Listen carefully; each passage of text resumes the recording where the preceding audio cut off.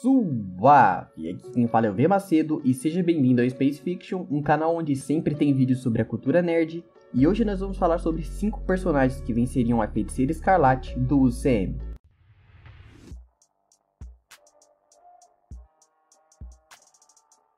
E bom, como eu já falei, a versão da Wanda que eu vou analisar aqui é a do universo cinematográfico da Marvel, que tem o auge no filme do Multiverso da Loucura, então, para quem entende de tier system, no UCM o tier da Wanda é continental a planetário, já que ela é capaz de destruir uma joia do infinito e ela tem a velocidade relativista.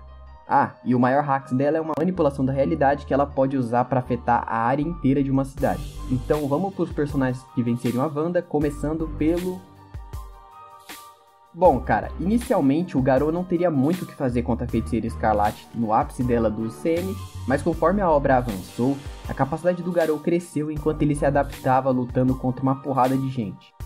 Atualmente, no auge dele, o Garou consegue fazer personagens que se movem na velocidade da luz, como o Flash, parecerem lesmas, e ele ainda é uma ameaça de nível Deus, o que em One Punch Man coloca ele como alguém capaz de extinguir toda a vida na Terra. Nesse caso, os golpes físicos dele são capazes de gerar o mesmo dano que uma destruição geral da superfície ou até do planeta inteiro. Até porque, para um cara fazer isso aqui, ele tem que ser muito forte. Além disso, o Garou ainda consegue atacar adversários internamente, o que mata alguém ignorando a resistência. Então ele pode vencer ela justamente por isso. Ele tem velocidade suficiente para atacar antes de sofrer uma manipulação da realidade, tem força para finalizar e tem até uma técnica que ignora o quão resistente é por fora. Então se a Wanda, por exemplo, coloca um campo de força, ele poderia utilizar isso para atacar e ignorar esse campo. Mas enfim, seria um ataque que iria estourar os órgãos dela. O Zero é um herói que tem como principal função ser o mais overpower possível para o mundo dele porque ele é um cara que tem poder destrutivo suficiente para destruir Marte por completo, com uma relativa facilidade, porque, cara, se o ataque dele desviado foi capaz de fazer isso, imagine ele focando para fazer algo desse naipe. Além disso, esse mesmo ataque atravessou toda a distância da Terra e Marte em segundos, o que, se for colocado em número, é algumas vezes mais rápido que a velocidade da luz. Então é algo que a banda dos filmes não conseguiria reagir para usar, por exemplo, o campo de força antes de ser acertado em cheio. Além disso, ele é relativamente versátil, e só para vocês terem uma ideia, ele pode abrir fendas no espaço para furar alguém de dentro para fora, e no geral o Zero vai vencer a Wanda meramente por ser superior em todos os atributos e conseguir evitar a manipulação da realidade por causa da velocidade.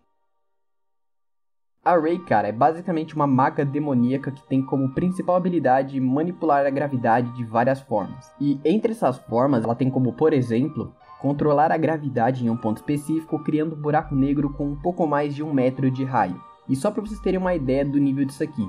Gerar um buraco negro mais ou menos desse tamanho precisaria de uma energia equivalente a destruir uma estrela grande, tipo uma estrela gigante vermelha mesmo. Além disso, a velocidade da Rey também é bem alta, porque ela faz parte de uma equipe chamada Grand Chase, onde os membros mais fracos são capazes de lutar contra seres que disparam ataques de luz, lasers e etc.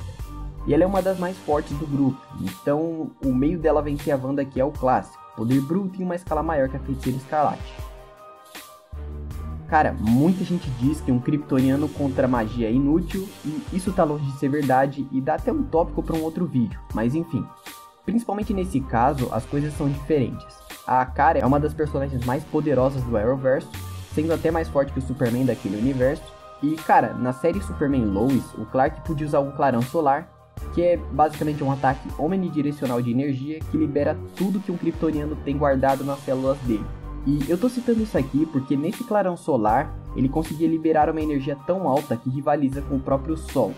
Ou seja, o Clark é nível estrela e a Kara também. Isso fora a velocidade, já que kryptonianos desse universo são várias vezes mais rápidos que a velocidade da luz. O Talho, por exemplo, conseguia voar toda a distância da Terra até o Sol em um curto período de tempo, então, o que faz a Supergirl estar aqui é meramente uma questão de poder bruto e velocidade que faz ela ser alguém capaz de vencer a Wanda antes da feiticeira escarlate manipular a realidade. Bom, eu sei que eu peguei um pouco pesado aqui, porque em Dragon Ball tem poucos usuários de magia que eu considero interessantes, e um desses é o Moro. E cara, a principal característica dele é absorver força vital, indo desde fazer isso com seres vivos até os planetas em si. E no geral, essa é a habilidade que faria ele vencer a Wanda numa luta. Ele poderia, por exemplo, drenar toda a energia dela antes de uma manipulação da realidade, que é meio que o único poder decente da feiticeira escarlate no CM, e ele pode fazer essa drenagem primeiro por uma questão pura e simples de ser mais rápido que a Wanda. Porque é aquilo, se personagens da saga Freeza podiam atacar e reagir na velocidade da luz, imagina o Moro que randomizou o Goku e o Vegeta em um nível muito superior ao de Batalha dos Deuses, onde uma reles trocação de soco entre Goku e o Bills gerou uma onda de choque que percorreu o universo 7 inteiro em um curto período de tempo o que é um feito que escala diretamente para a velocidade deles em combate. E no caso do Moro, eu não tô nem considerando o poder bruto dele nessa análise, porque com isso ele simplesmente passaria o carro por cima da Wanda. É só a questão de hacks mesmo. Mas e aí? Você concorda com os personagens que eu apresentei nessa lista? Deixe a sua opinião aí nos comentários porque eu leio todos eles e se possível respondo. E lembrando que eu quis citar personagens próximos do nível da Wanda do CM, com uma ou outra exceção, e não os personagens bem quebrados, tipo Naofumi, Anos Root Good, ou algum peso pesado da vida que é absurdamente poderoso e tem nível para peitar ou até solar a Wanda das HQs. A intenção aqui era falar de personagens um pouco mais próximos da escala do nível de poder da Wanda.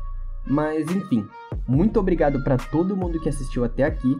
Aliás, se você viu esse vídeo até o final, comenta aí o personagem da lista que você achou mais interessante ou que você acha que teria uma maior dificuldade para vencer a Wanda porque por hoje eu vou ficando por aqui.